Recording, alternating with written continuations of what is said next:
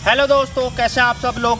आज हम आपको दिखाएँगे हरिद्वार के बारे में, ऋषिकेश के बारे में। यहाँ पर प्रसिद्ध कुछ हरिद्वार की और ऋषिकेश की कुछ प्रसिद्ध पुराने मंदिर हैं तीर्थ स्थल हैं, उनके बारे में आपको दिखाएँगे। जो भी भाई लोग बाहर से आते हैं, घूमने के लिए वो सोचते हैं, कहाँ जाए कहाँ जाए। आज हम आपको कुछ स्थान दिखाएँगे आपको अपनी वीडियो में। तो चलिए मिलते हैं वीडियो में आगे।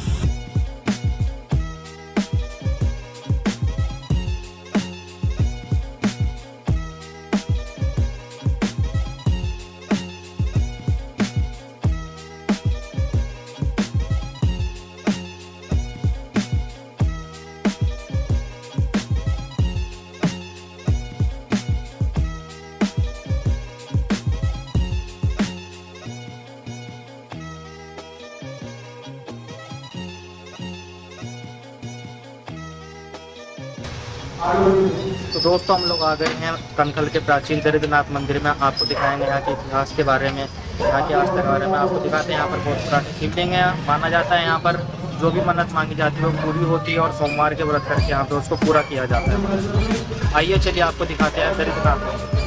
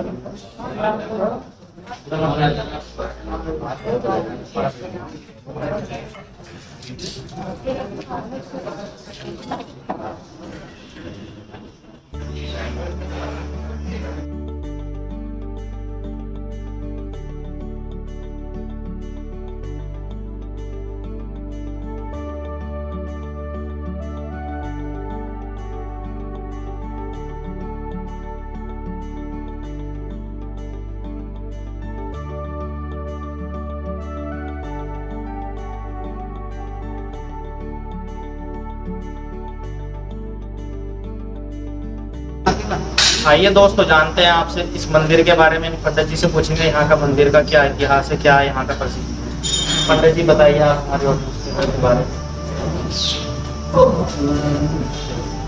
उत्तराखंड ज़िले में नगर में श्री दारिद्रंजन महादेव का स्थान। पहले तो सबसे पहले इस स्थान के बारे में स्थान क्या है? कनखल पर। कनखल माने कनखल कोई न खल है ना? भगवान शंकर जी की ससुराल कहा गया है। यहाँ पर कनखल में सती हुई थी, है ना? तो ये स्थान भगवान शिव की ससुराल के नाम से जाना जाता है। इसका जो मंडल है, वो मायापुरी मंडल है और इसके जो राजा हैं, वो दक्ष राजा, दक्ष। पौराणिक इतिहास तो ये है। अब बात रही मंदिर की श्री दरिद्र भंजन स्वयंभू सिद्धपीठ, श्री दरिद्र भंजन महादेव मंदिर।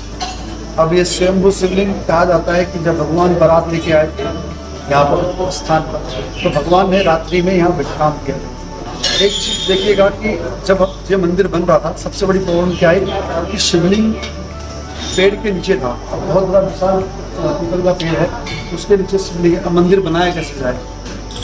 तो फिर भी भगवान ने बनाया एक तरफ़ शिवलिंग है कभी आप किसी मंदिर में जाओगे तो शिवलिंग हमेशा बीच में होता है। लेकिन यहाँ का जो शिवलिंग है, वो किनारे पे है। इसलिए किनारे पे है कि आगे बहुत बड़ा विशाल पेड़ है। जो कहा जाता है कि रात्रि में भगवान नारायण ने, भगवान भोलेनाथ ने यहाँ पर स्नान किया था। कहते हैं कि दारिद्र दुख बायहार कमना सदुख दरिद्रता का नाश करने के लिए दारिद्र धन स्त्रोत्र का पाठ आदि गुरु शंकराचार्य ने यहीं से ही किया गया था, जिससे दरिद्रता का नाश होता है। और भगवान सभी की मनोकामना पूर्ण करते हैं और दरिद्र व्यंजन में आकर सभी जो चालीस दिन पर मिठाई अपने मन की इच्छा रखता है उसकी सभी मनोकामना पूर्ण होती है। भगवान सभी की मनोकामना को पूर्ण करे। सदैव आप सभी के परिवार पर अपना आशीर्वाद हर शिवाय। धन्यवाद। और जैसा कि पंडित जी ने हमको बताया था इस मंदिर के बारे में यहाँ पर ये एक समाधि है। आइए जानते हैं समाधि के बारे में। जो समाधि वाले बाबा हैं, जो पंडित जी ने बताया कि ये सिद्धपीठ मंदिर है। बहुत सिद्धपीठ मंदिर है, जितनी पूजा करो, वो सब सिद्धि होती है। ये इनको साक्षात शिव जी के दर्शन हुए। जैसे साक्षात शिव जी के दर्शन हो गए तो इन्होंने अपना समाधि ले ली। समाधि ले ली और बहुत सिद्ध- सिद्धपीठ मंदिर है। इन्होंने पूजा करी, यहाँ यहीं समा गए, यहीं रहते हैं। तभी से ये मंदिर प्रसिद्ध है।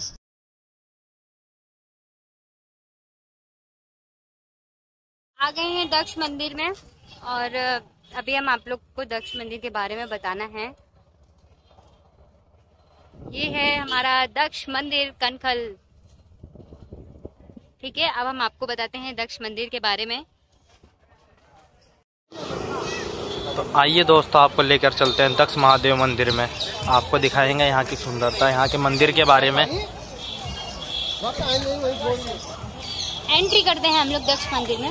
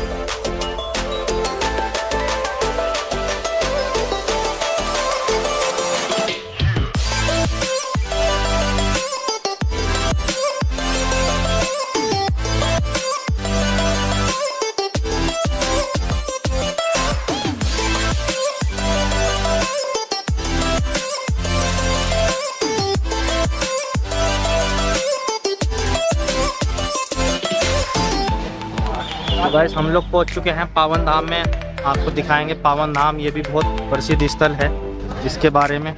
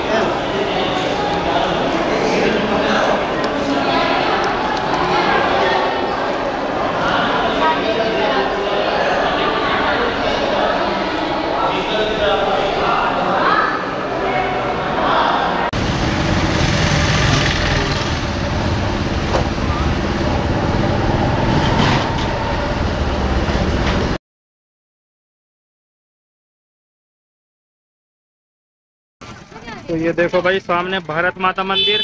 एक फ्रेम में भी नहीं आ रहा है, देखो, कितना बड़ा मंदिर है ये देखो।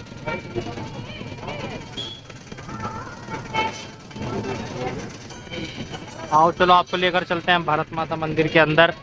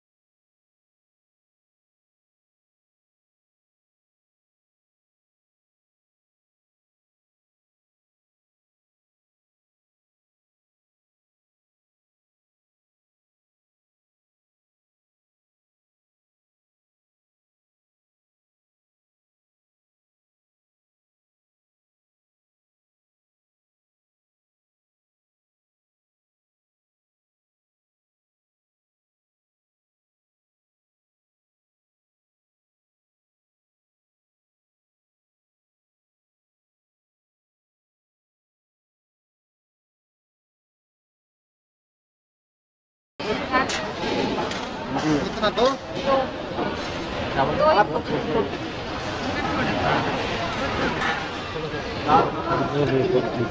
रोटी खा रही है। हाँ जी तो देते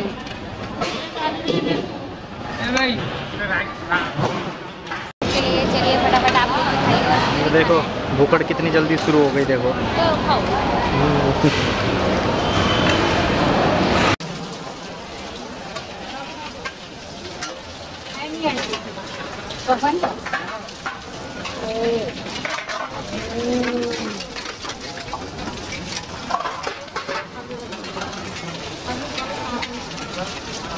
ये देखो भाई लड़की बर्तन मांग रही थी अभी।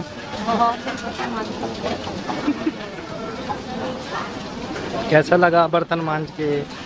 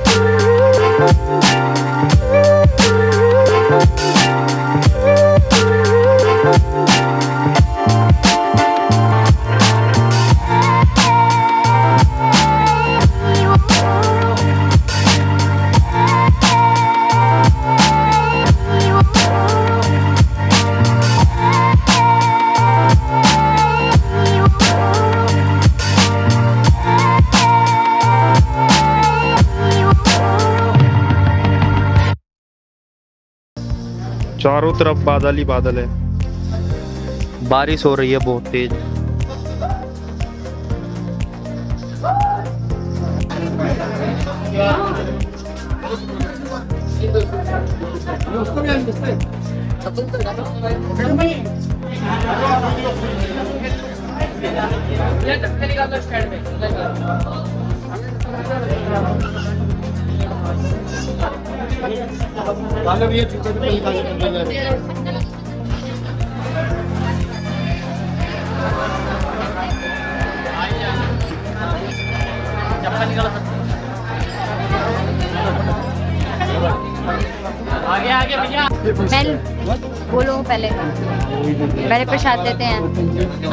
लेते हैं प्रसाद और वेट करते हैं भैया ये दुकान कितने गए? अच्छा। पूरा श्रृंगार है ये?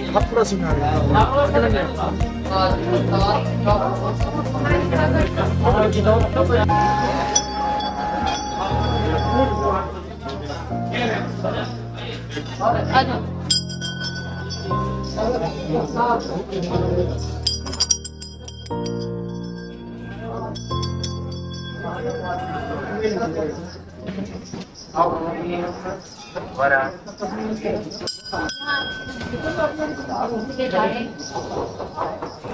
इसकी हाइट छोटी पड़ गई।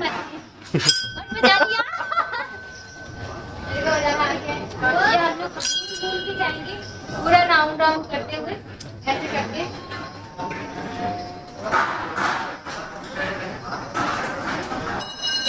बहुत सारी ऐसे ऐसे करके सारे दिखाएँ। ये बंदर हम परेशान कर रहे हैं।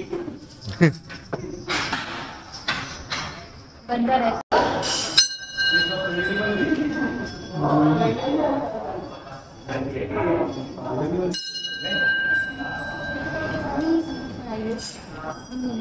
फ़ोटो वोटो लेना यार।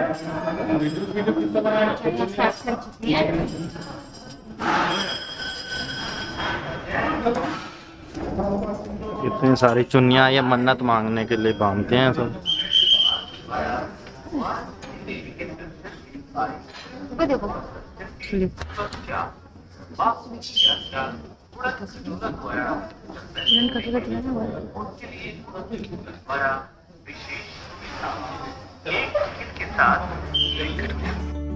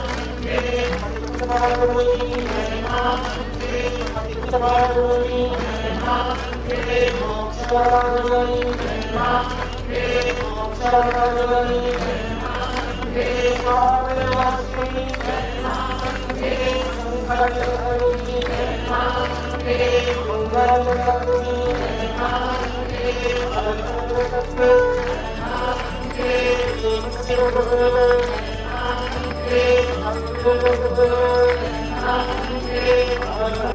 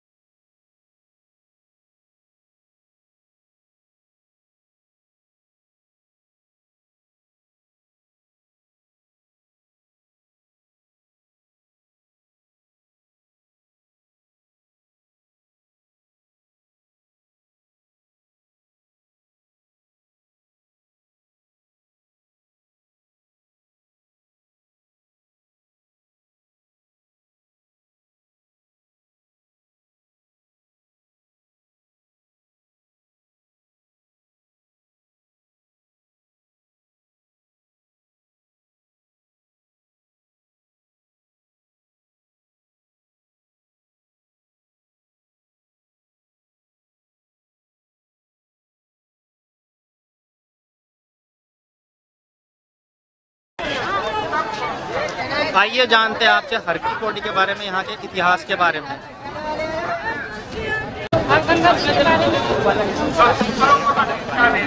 आज हम लोग हर की समुद्र मंथन जो अमृत निकला था वो हमारे ब्रह्मकुंड में गिरा। इसलिए यहाँ पर ब्रह्मकुंड के नाम से हर का नाम पड़ा। हमारे सभी देश के हर क्षेत्र के श्रद्धालु लोग आते हैं। स्नान करके जीवन को पूरे करते हैं और उसी से उनका सौभाग्य प्राप्त होता है। यही है। मर्यादा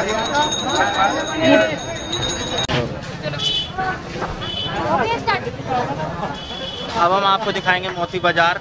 यहाँ पर पुराने रत्न, जो भी पूजा पाठ का सामग्री है, वो सब उपलब्ध होता है यहाँ पर। आओ आपको लेके चलते हैं मोती बाज़ार में।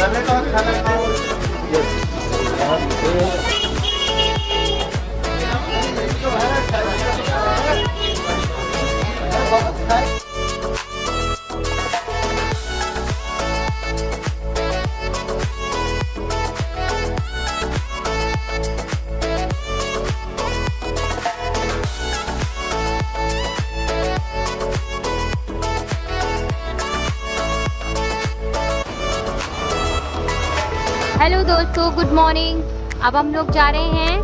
कहाँ जा रहे हैं? ऋषिकेश।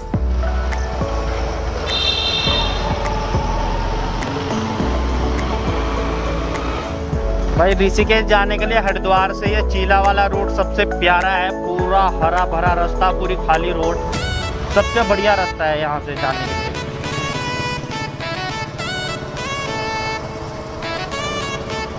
बहुत अच्छा है। देखिए कितनी ग्रीनरी है यहाँ पर। और हम लोग जा रहे हैं ऋषिकेश ब्लॉग के लिए आप लोगों को आगे दिखाते हैं क्या क्या ऋषिकेश में है।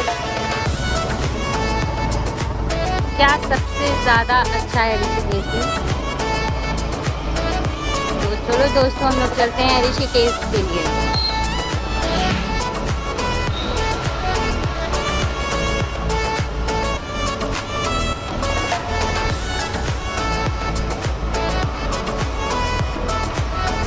देखिए, यहाँ से बसें भी जाती हैं। ऋषिकेश के लिए ये बहुत अच्छा रास्ता है, इसलिए यहाँ से लोग जल्दी जाने के लिए इधर ही से जाते हैं। और यहाँ पे बहुत अच्छा व्यू है, देखिए कितनी ग्रीनरी है यहाँ पर।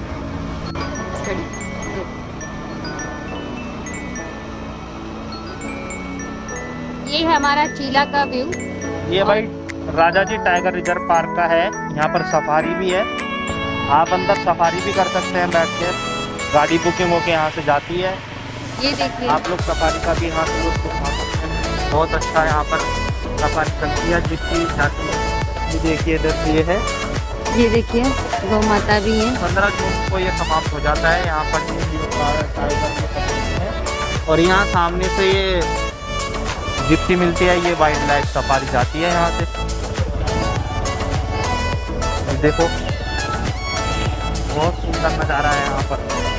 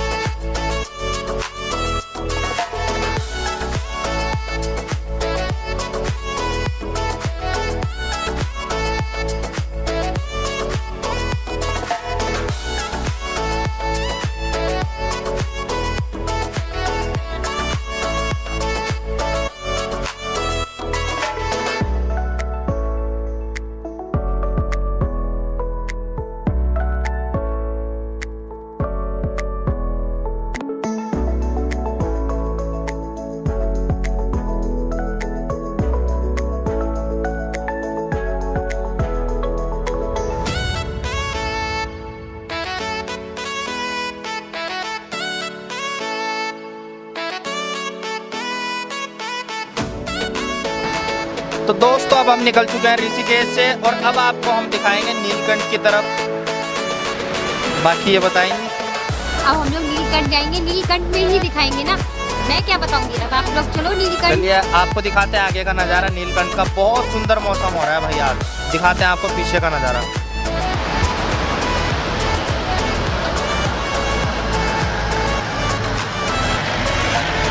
ये देखो भाई सामने वेदर कितना अच्छा हो रहा है है।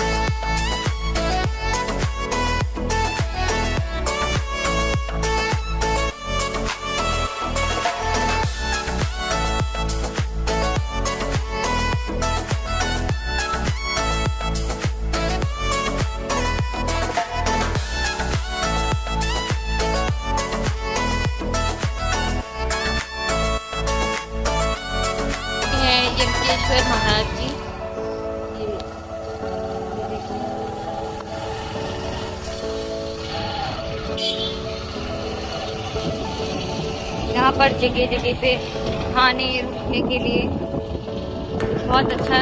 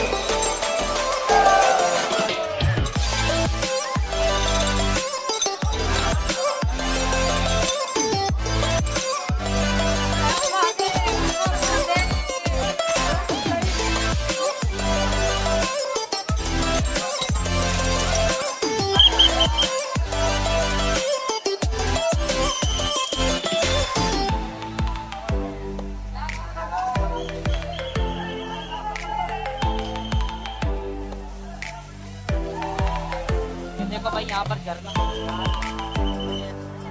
भी सकते हैं यहाँ पर।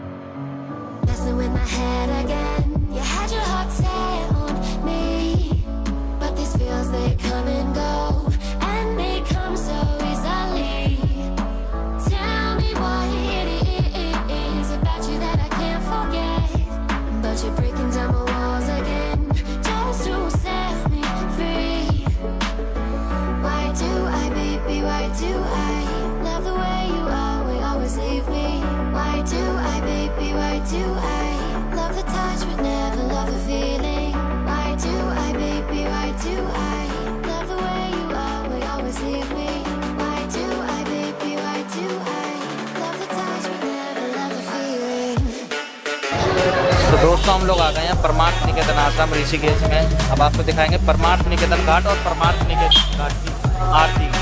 सामने का व्यू आप देख सकते हैं, बारिश में बहुत अच्छा हो रहा है, हम जाएँगे अंदर। उसके बारे में आपको दिखाएँगे।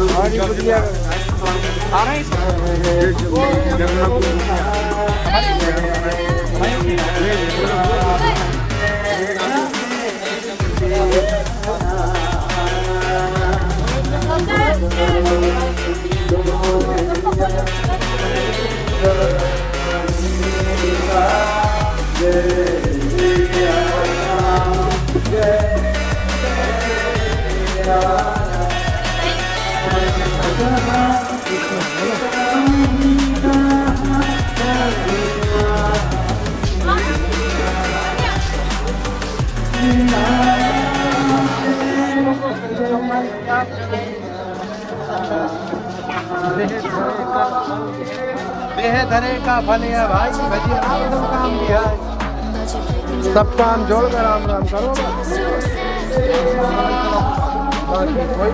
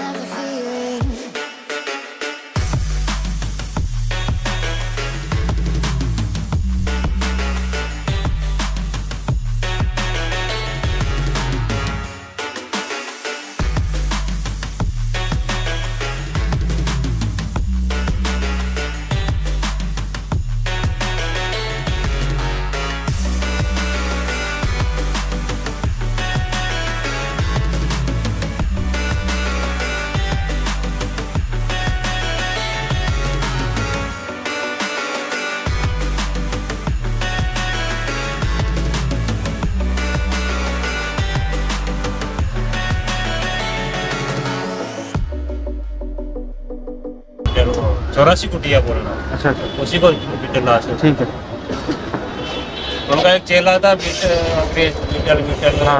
म्यूज़िक बैंड बनाने वाला उसी के नाम के लोग बीटल अच्छा